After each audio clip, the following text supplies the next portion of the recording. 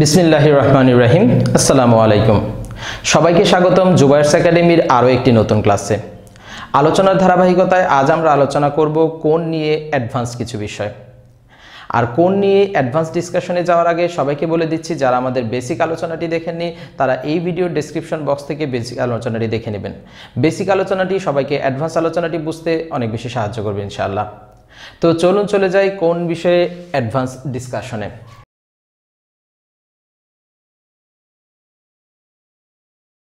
Advance ডিসকাশনের জন্য আমি কোণকে দুইটি ভাগে ভাগ করেছি, একটি হলো জ্যামিতিক কোণ, একটি হলো ত্রিকোণমিতিক কোণ।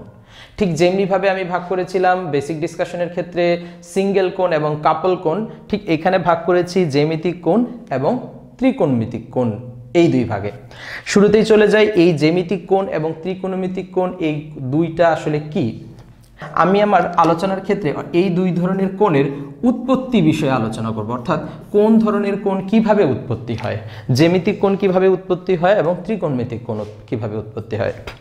জ্যামিতিক কোণ সাধারণত উৎপত্তি হয় যখন কোনো সমতলে দুইটি রশ্মি মিলিত হয়, তখন ওই মিলন স্থানে একটি কোণ উৎপন্ন হয়। আমরা একটি চিত্রের সাহায্যে ব্যাপারটাকে বুঝে নেই।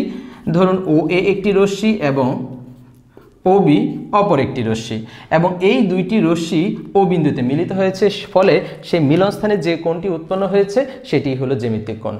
আমরা সাধারণভাবে বলতে পারি, আমরা ছোটবেলা থেকেই যেই ধরনের কোণের সঙ্গে পরিচিত বিভিন্ন রকম, তারা আসলে জ্যামিতিক কোণ। এবার চলুন আসি ত্রিকোণমিতিক কোণ বিষয়ে। ত্রিকোণমিতিক কোণের বেলায় সাধারণত দুইটি রশ্মি থাকে, তবে সেক্ষেত্রে একটি রশ্মি থাকে স্থির এবং অপর একটি রশ্মি থাকে ঘূর্ণায়মান। অর্থাৎ একটি স্থির রশ্মির সাপেক্ষে অপর একটি রশ্মি যখন ঘূর্ণায়মান থাকে, তখন এই ঘূর্ণায়মান রশ্মির বিভিন্ন অবস্থানে সে স্থির রশ্মির সঙ্গে বিভিন্ন কোণ উৎপন্ন করে। আর সেই কোণগুলোই হলো ত্রিকোণমিতিক কোণ। আবারও বলছি, একটি স্থির রশ্মির সাপেক্ষে অপর একটি ঘূর্ণায়মান রশ্মি বিভিন্ন অবস্থানে যে বিভিন্ন ধরনের কোণ উৎপন্ন করে, সেগুলোই হলো ত্রিকোণমিতিক কোণ। আলোচনা সুবিধার্থে আমি একটি চিত্র এঁকে দিচ্ছি। সাপোজ, ও এক্স একটি রশ্মি এবং ও এ অপর একটি রশ্মি। আমরা এই ধরে নেই ও এক্স রশ্মিটি হলো স্থির এবং ও এ রশ্মিটি ঘূর্ণায়মান এবং সে ঘূর্ণনের সময় বিভিন্ন রকম সময় বিভিন্ন অবস্থানে থাকতে পারে। বিভিন্ন সময় বিভিন্ন অবস্থানে থাকতে পারে। আমি ধরে নিলাম এটা ও এ রশ্মির প্রথম অবস্থান, তাই এর নাম দিলাম এ ওয়ান এটা ধরে নিলাম এ টু দ্বিতীয় অবস্থান, এটা ধরে নিলাম এ থ্রি এবং এটা ধরে নিলাম এ ফোর আরও বিভিন্ন ধরনের অবস্থান হতে পারে। এই যে বিভিন্ন সময় ও এ রশ্মি বিভিন্ন জায়গায় অবস্থান করতেছে, তখন সে বিভিন্ন সময় এই ও এক্স রশ্মির সঙ্গে বিভিন্ন কোণ উৎপন্ন করছে। অর্থাৎ যখন সে প্রথম অবস্থানে ছিল, তখন এটুকু হলো কোণ। যখন দ্বিতীয় অবস্থানে ছিল, তখন এই পরিমাণ হলো কোন যখন তৃতীয় অবস্থানে ছিল, তখন কোন বলতে আসলে এই সম্পূর্ণটাকে বোঝাচ্ছে। ঠিক একই রকমভাবে সে বিভিন্ন সময় ও এক্স রশ্মির সঙ্গে বিভিন্ন কোণে অবস্থান করতেছে এবং এই কোণটাই হলো ত্রিকোণমিতিক কোণ। এবার চলুন চলে যাই কোন ধরনের কোণের সীমানা কতটুকু? জ্যামিতিক কোণ আলোচিত হয় বা জ্যামিতিক কোণ বিষয়ে আলোচনা করা হয় চার সমকোণ পর্যন্ত। অথবা এভাবে বলা যেতে পারে জ্যামিতিক কোণের আলোচনা চার সমকোণ পর্যন্তই সীমাবদ্ধ। কিন্তু ত্রিকোণমিতিক কোণের আলোচনার কোনো সুনির্দিষ্ট পরিসীমা নেই। আমি দুইটাকে কম্পেয়ার করতেছি এই জন্যে যেন সহজভাবে বোঝা যায়।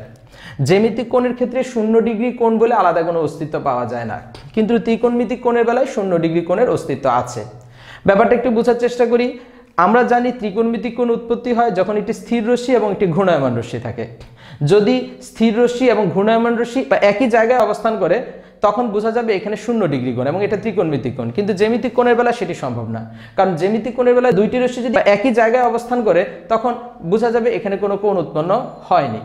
তো যাই হোক, আমি ত্রিকোণমিতিক কোণের বেলায় বলি যে ত্রিকোণমিতিক কোণের বেলায় যখন শূন্য ডিগ্রির থেকে কম কোণ বা কম থাকে, তখন সেটাকে বলা হয় ঋণাত্মক কোণ। আর শূন্যর থেকে বেশি হলে তখন সেগুলোকে বলা হয় ধনাত্মক কোণ। ব্যাপারটা আমি আলোচনা করছি। যেমন ধরুন, আমি আরেকবার চিত্রটি একে বুঝিয়ে দিচ্ছি। ও এক্স মনে করেন সেই স্থির রশ্মি। এবার ও এই রশ্মিটি কিন্তু দুইভাবে ঘুরতে পারে। অর্থাৎ ঘড়ির কাটার বিপরীত দিকেও ঘুরতে পারে, আবার ঘড়ির কাটার দিকেও ঘুরতে পারে। খুব সহজে। দেখুন, লক্ষ্য করে দেখুন। ধরে নিন, এটা একটা ঘড়ির ঘণ্টার কাটা। এবার আপনি সেকেন্ডের কাটাটার কথা ভাবুন। সেকেন্ডের কাটাটা আমরা জানি আস্তে আস্তে আস্তে আস্তে এভাবে এভাবে ঘুরছে। তো এই যে ঘুরছে, এটা কিন্তু ঘড়ির, এভাবে যদি ঘুরে, সেটা হচ্ছে ঘড়ির কাটার দিকে। বাট একটু আগে আমি যেমন দেখিয়েছিলাম, ওই রশ্মির বিভিন্ন দিকে ঘুরছে, তখন এটা কিন্তু ঘড়ির কাটার বিপরীত দিক। যখনই কোনো রশ্মি ঘড়ির কাটার বিপরীত দিকে ঘুরে তখন যে কোনটা উৎপন্ন হয়, সেই কোনটাকে বলা হয় ধনাত্মক কোণ। সাপোজ ও এ রশ্মিটা এই অবস্থানে আছে। এই অবস্থানে আছে। এখন ব্যাপারটা হলো, যদি এমন হয় যে এই ও এ রশ্মিটা এখান থেকে এইভাবে ঘুরেছে, তাহলে এটা কি ঘড়ির কাটার দিকে ঘুরলো নাকি বিপরীত দিকে ঘুরলো? অবশ্যই ঘড়ি কাঁটার বিপরীত দিকে, অর্থাৎ অ্যান্টি ক্লকওয়াইজ যখনই অ্যান্টি ক্লকওয়াইজ ঘুরবে, তখন এখানে যত ডিগ্রি কোণই উৎপন্ন হোক, ধরে নিন এখানে একশো ডিগ্রি কোণ, তখন এই একশো ডিগ্রি কোণকে বলা হবে ধনাত্মক কোণ। আর যদি এমন হতো, ধরুন ও এক্স একটি রশ্মি এবং ও এ অপর একটি রশ্মি এবং ও এ রশ্মিটি ঘড়ির কাঁটার দিকে ঘুরে এই অবস্থানে আসলো। যখনই এটি ঘড়ির কাঁটার দিকে ঘুরলো, ঘড়ির কাঁটার যেদিকে ঘুরে ঠিক সেই দিকে ঘুরলো, অর্থাৎ ক্লক ওয়াইজ ঘড়ির কাঁটার মতো করে ঘুরলো, তখন এখানে যে কোণ উৎপন্ন হলো, ধরে নিন এখানে তিনশো ডিগ্রি কোণ আছে, তখন এই কোণটিকে বলা হচ্ছে ঋণাত্মক কোণ। আবার সংক্ষেপে বলে দিচ্ছি, যখন ঘড়ির কাঁটার বিপরীত দিকে ঘুরবে, অর্থাৎ অ্যান্টি ক্লকওয়াইজ ঘুরবে, তখন যে কোণ উৎপন্ন হবে সেটি হলো ধনাত্মক কোণ, এবং যখন সেটি ঘড়ির কাঁটার দিকে ঘুরবে, তখন যে কোণ উৎপন্ন হবে, তখন সেটাকে বলা হবে ঋণাত্মক কোণ। আর ত্রিকোণমিতিক কোণ ধনাত্মক এবং ঋণাত্মক হতে পারে এবং অনেক বেশি পরিমাণে হতে পারে। And বেশি পরিমাণটা কি সেটা কীভাবে বুঝব? বুঝিয়ে দিচ্ছি। মনে করুন, এই ছিল ও এক্স রশ্মি, যেটি স্থির রশ্মি। এবং ও এ একটি রশ্মি, এটি ঘুরছে। ঘুরতে ঘুরতে ঘুরতে এখানে এসে যে থেমে যেতে হবে এমন কোনো কথা নেই। এটি আরও বেশি ঘুরতে পারে। মনে করুন ও এ রশ্মিটি একবার ঘুরে আরেকবার ঘুরে এক পর্যায়ে এই অবস্থানে আসলো। অর্থাৎ এটি হলো ও এ রশ্মির অবস্থান। তাহলে লক্ষ্য করুন ও এ রশ্মি কিন্তু একবার সম্পূর্ণ ঘুরে আবার যাচ্ছে এবং সেটাকে আরও ঘুরানো সম্ভব। তখন আমরা জানি একবার সম্পূর্ণরূপে ঘুরলে তিনশো ষাট ডিগ্রি কোণ উৎপন্ন হয়। তখন এইখানে কিন্তু কোনটা আরও বেশি ঘুরেছে হয়তো বা চারশো ডিগ্রি বা তারও বেশি কিছু, যাই হোক না কেন, সেটা যে কোনো পরিমাণ হতে পারে। অর্থাৎ এই ত্রিকোণমিতিক কোণের বেলায় আমরা এক হাজার পনেরোশো বা আরও বেশি সম্ভব কোণ, অর্থাৎ অনেক বেশিবার এটা ঘুরতে পারে, যত ইচ্ছা। অর্থাৎ আলোচনা সম্ভব। ঠিক একই রকমভাবে এই ক্লক ওয়াইজ অর্থাৎ ঘড়ির কাটার দিকেও এটা অনেক বেশি ঘুরতে পারে। যতবার যত বেশি ঘুরবে, তত ক্ষেত্রে তত বেশি কোণ উৎপন্ন হবে। অর্থাৎ আমি যা বলছিলাম, সেটা হলো জ্যামিতিক কোণের বেলার যে মধ্যে যেমন আলোচনাটা তিনশো ষাটের মধ্যে সীমাবদ্ধ, অর্থাৎ চার সমকোণের মধ্যেই সীমাবদ্ধ, ত্রিকোণমিতিক কোণের বেলায় ব্যাপারটা সেরকম না। অর্থাৎ ত্রিকোণমিতিক কোণের বেলায় আলোচনাটা কোনো সুনির্দিষ্ট সুনির্দিষ্ট পরিমাণের মধ্যে সীমাবদ্ধ না। এই ছিল সীমানা নিয়ে ত্রি- জ্যামিতিক কোণ এবং ত্রিকোণমিতিক কোণ। এবার আমরা আলোচনা করব কোন পরিমাপের পদ্ধতি নিয়ে। কোন পরিমাপের পদ্ধতির ক্ষেত্রে আমি দুইটি পদ্ধতির উল্লেখ করেছি, একটি হচ্ছে ষাটমূলক পদ্ধতি, অপরটি হলো বৃত্তীয় পদ্ধতি। আমরা ছোটবেলা থেকে কোন পরিমাপের ক্ষেত্রে ডিগ্রি এককটি ব্যবহার করে আসছি। এই ডিগ্রি এককটি হলো ষাটমূলক পদ্ধতির একটি একক, বাট এটি কোন পরিমাপের একমাত্র একক নয়।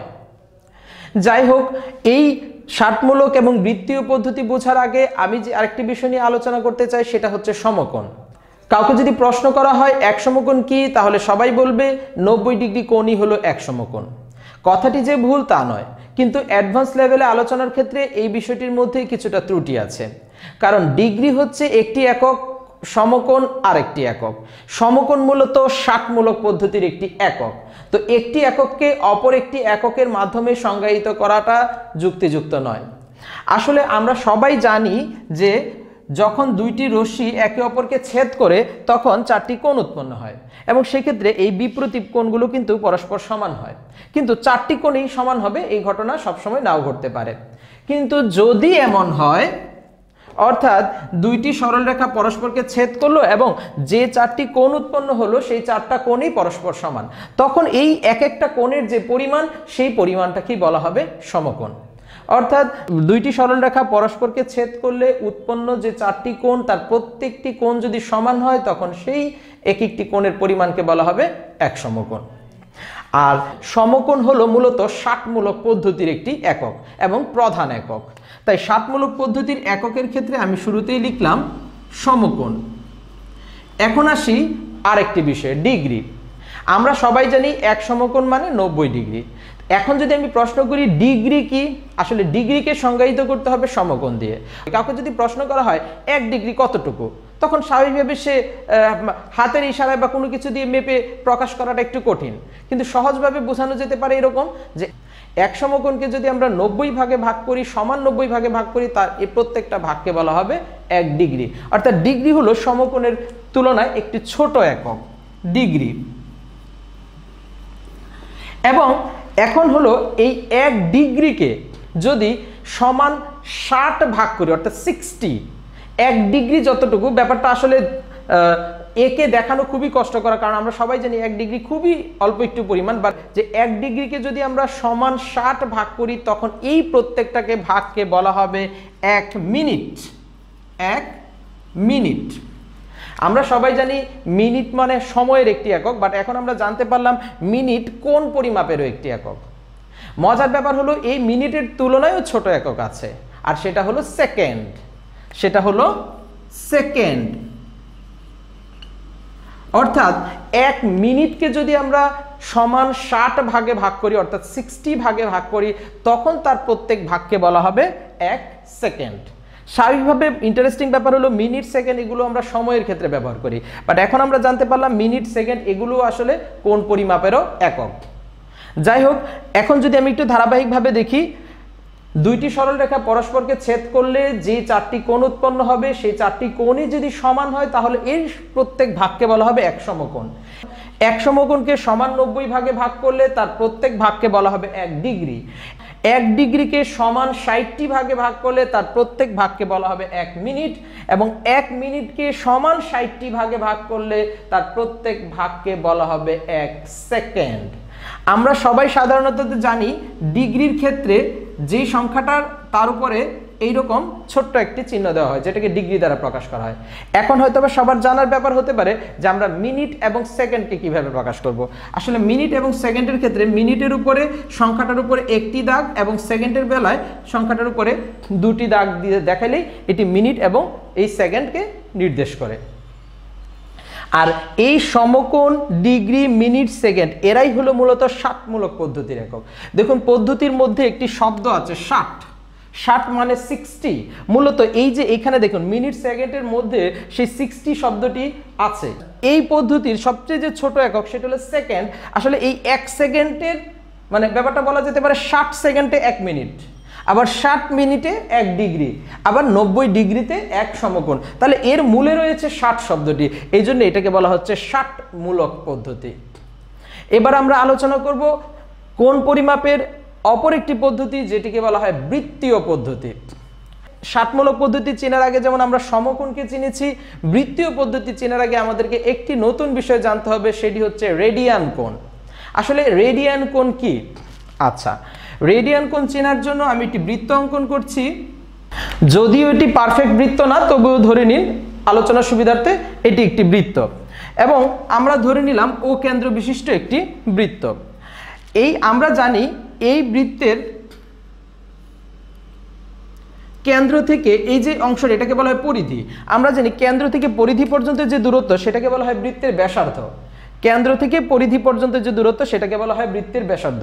মনে করুন, এটার ব্যাসার্ধ ফাইভ সেন্টিমিটার ফাইভ সেন্টিমিটার আমরা যদি এই ফাইভ সেন্টিমিটার ধরে নিলাম আমরা ও এ এটি হলো বৃত্তের ব্যাসার্ধ ও এ হলো বৃত্তের ব্যাসার্ধ এবং ও এর দৈর্ঘ্য হলো ফাইভ সেন্টিমিটার আমরা যদি এ বিন্দু থেকে ঠিক সেই ফাইভ সেন্টিমিটার অংশ একটু মেপে মেপে একটা বিন্দু চিহ্নিত করি, এখানে যেমন ফাইভ সেন্টিমিটার আমরা এখান থেকেও ফাইভ সেন্টিমিটার আমাদের আলোচনা সুবিধাতে আমরা ধারণা করলাম যে এ বি অর্থাৎ এইটুকু হচ্ছে সেই ফাইভ সেন্টিমিটার এখানেও ফাইভ সেন্টিমিটার তখন আমরা যদি এই বি বিন্দুর সঙ্গে ও বিন্দু যুক্ত করি, তখন এখানে যে কোণটি উৎপন্ন হবে, এইখানে য- যতটুকু কোণ আছে, তার পরিমাণকে বলা হচ্ছে এক রেডিয়ান। অর্থাৎ, কোনো বৃত্তের ব্যাসার্ধের সমান চাপ, আমরা জানি এই সম্পূর্ণটা হচ্ছে পরিধি, আর পরিধির এক একটা অংশ, যতটুকু অংশই হোক না কেন, সেটাকে বলে বৃত্ত চাপ। তো, ব্যাসার্ধ যতটুকু, আমরা যদি এই বৃত্তের পরিধি থেকে ততটুকু চাপ কেটে নেই, তখন এই কেন্দ্রে যতটুকু কোণ উৎপন্ন হবে, অর্থাৎ কোনো বৃত্তের ব্যাসার্ধের সমান চাপ কেন্দ্রে যে কোণ উৎপন্ন করে সেটাকেই বলা হচ্ছে রেডিয়ান কোণ। আর বৃত্তীয় পদ্ধতিতে কোণ পরিমাপের একক হলো এই রেডিয়ান। আমরা চাইলে এই রেডিয়ান একক থেকে কোনো কোণকে ডিগ্রি এককে নিতে পারব, আবার ডিগ্রি একক থেকে কোনো কোণকে রেডিয়ান এককে আনতে পারব। সেক্ষেত্রে অনেক আলোচনা আছে, তার মধ্যে আমরা খুব সহজেই আমি ছোট্ট দুটি সূত্র দিয়ে দিচ্ছি, যেই সূত্রের মাধ্যমে আমরা ডিগ্রি একক থেকে রেডিয়ান এককে নিতে পারব এবং রেডিয়ান একক থেকে ডিগ্রি এককে আনতে পারব। সূত্র দুটি হলো, দুইটি সূত্রের মাধ্যমে আমরা এই বৃত্তীয় পদ্ধতি এবং ষাটমূলক পদ্ধতির মধ্যে সম্পর্ক স্থাপন করতে পারি। ষাটমূলক পদ্ধতিতে যেই এককটি বেশি ব্যবহৃত হয় সেটি হলো ডিগ্রি। আর রেডিয়ান বৃত্তীয় পদ্ধতিতে যে এককটি ব্যবহৃত হয় সেটা হচ্ছে রেডিয়ান। আমরা যদি কখনো কোনো ডিগ্রি পরিমাণকে রেডিয়ানে প্রকাশ করতে চাই, তাহলে সেই পরিমাণটাকে পাই বাই একশো আশি দ্বারা গুণ করলেই চলবে। অর্থাৎ এক ডিগ্রি সমান পাই বাই একশো আশি রেডিয়ান। ধরুন একশো পঞ্চাশ ডিগ্রি একটা গুণ এখন একশো পঞ্চাশ ডিগ্রি কোণে কত রেডিয়ান একশো পঞ্চাশের সঙ্গে যদি আমি পাই বাই একশো আশি গুণ করি, তাহলে সেটা রেডিয়ানে চলে আসবে। আবার এক রেডিয়ান সমান একশো আশি বাই পাই ডিগ্রি। অর্থাৎ কোথাও আছে বিশ রেডিয়ান এখন বিশ রেডিয়ান কোণকে যদি আমি ডিগ্রিতে প্রকাশ করতে চাই, বিশের সঙ্গে যদি আমি একশো আশি বাই পাই গুণ করে দিই, তাহলে সেটা ডিগ্রিতে চলে আসবে। এখানে আমরা একটা নতুন প্রতীকের সাথে পরিচিত হলাম, আর সেই প্রতীকটার নাম হলো পাই। পাই কি সে বিষয়ে বিস্তারিত আলোচনা করব আমরা অন্য কোনো ক্লাসে। তবে আপাতত সংক্ষেপে জেনে রাখি, পাই হলো বৃত্তের পরিধি ও ব্যাসের একটি অনুপাত। অর্থাৎ পৃথিবীর যে কোনো বৃত্তের পরিধিকে তার ব্যাস দিয়ে যদি ভাগ করি, সকল ক্ষেত্রে আমরা দেখব ভাগফলটা একটা ফিক্সড সংখ্যা এসেছে। আর এই সেই ফিক্সড, অর্থাৎ ধ্রুব সংখ্যাটিকে গণিতবিদরা একটা প্রতীক দ্বারা প্রকাশ করেছেন, আর সেই প্রতীকটি হলো পাই। পায়ের মান হিসেবে স্বাভাবিকভাবে ব্যবহার করা হয় three point one four one six but এটি একটি অমূলত সংখ্যা, অর্থাৎ এটি কখনোই শেষ হবে না। এটা ক্রমাগত চলবে, অর্থাৎ এই এই ভাগফল কখনোই শেষ হবে না। কোনো ডিগ্রি একক থেকে যদি আমি রেডিয়ানে নিতে চাই, তাহলে ওই সংখ্যাটার সঙ্গে ওই পায়ের জায়গায় three point one four one six by একশো আশি দ্বারা গুণ করে দিব। যদি আমরা রেডিয়ান থেকে ডিগ্রিতে নিতে চাই, তাহলে ওই একশো আশি বাই থ্রি পয়েন্ট ওয়ান পায়ের পরিবর্তে ওই three point one four one six দিয়ে গুণ করলেই আমরা সেটাকে ডিগ্রিতে প্রকাশ করতে পারব। সাধারণভাবে দুইটি সূত্র মনে রাখার জন্য এমনি মনে থাকে, একই রকম প্রায়, এক জায়গায় পাই উপরে, এক জায়গায় একশো আশি উপরে। অনেক সময় স্টুডেন্টরা এমনি মুখস্থ করে ফেলে, যখন কাজ করার সময় হয়, তখন মনে পড়ে না যে কখন জানি একশো আশি উপরে, কখন জানি পাই উপরে। তখন আমি আমার স্টুডেন্টদেরকে স্বাভাবিকভাবে বলে দিই, এভাবে মনে রাখার জন্য যে আমরা যখন রেডিয়ানে প্রকাশ করতেছি রেডিয়ান একটা নতুন জিনিস। স্বাভাবিকভাবে এককের ক্ষেত্রে স্টুডেন্টরা রেডিয়ানের সঙ্গে পরিচিত হয় পরে রেডিয়ান একটা নতুন জিনিস। যখন রেডিয়ানে প্রকাশ করতেছি, তখন পাইটা উপরে পাইও একটা নতুন বিষয়। স্টুডেন্টরা পরবর্তীতে বড় হয়ে পরিচিত হয় পায়ের সঙ্গে। তাই রেডিয়ানে যখন প্রকাশ করবে রেডিয়ান যখন বানাবো, তখন পাই উপরে পাই আগে থাকবে। আর যখন ডিগ্রিতে প্রকাশ করব, তখন ডিগ্রি একটি পুরনো, স্বাভাবিক জিনিস এবং আমরা স্বাভাবিক সংখ্যার সঙ্গে পূর্বে থেকে পরিচিত, সেক্ষেত্রে একশো আশিটা উপরে এটা শুধুমাত্রই একটা মনে রাখার একটা নিজস্ব একটি কৌশল যাতে দুইটার মধ্যে ঝামেলাটা মিটে যায়। এখানে আমি আরও একটা বিষয় আপনাদেরকে বলে রাখি। কখনো আমরা যেরকম ডিগ্রি প্রকাশ করেছি, যেমন নব্বই ডিগ্রি কোণকে আমরা প্রকাশ করি এরকম একটি চিহ্ন দ্বারা। অর্থাৎ কোনো সংখ্যার উপরে এরকম একটি চিহ্ন দ্বারা ডিগ্রি প্রকাশ করা হয়। রেডিয়ানকেও এভাবে প্রকাশ করা যায়। অর্থাৎ বিশ রেডিয়ান একটা কোণ, সেটাকে আমরা প্রকাশ করতে পারি টোয়েন্টি এবং উপরে ছোট্ট করে যদি আমরা সি দিই, এই সি দ্বারাও রেডিয়ান প্রকাশ হয়। অর্থাৎ পাশে বাংলায় লিখলেও রেডিয়ান অথবা ওই সংখ্যার উপরে ছোট্ট করে সি অক্ষরটাকে ব্যবহার করলে সেটাও রেডিয়ান প্রকাশ করার জন্য এই সিটাকে ব্যবহার করা হয়। এই ছিল কোন বিষয়ে আমাদের অ্যাডভান্স ডিসকাশন। ভিডিওটি যদি আপনাদের ভালো লাগে, তাহলে অবশ্যই লাইক দিবেন এবং শেয়ার করে তা অন্যদের কাছে পৌঁছে দিবেন। আর গণিতের অন্য যে কোনো বিষয়ে যদি আপনারা এই ধরনের আলোচনা পেতে চান, তাহলে তা কমেন্টস করে আমাদেরকে জানাবেন। এবং চ্যানেলটিকে সাবস্ক্রাইব করে বেল আইকনটি বাজিয়ে রাখুন, তাহলে আমাদের পরবর্তী ভিডিওর আপডেট আপনারা পেয়ে যাবেন। ধন্যবাদ সবাইকে, আসসালামু আলাইকুম।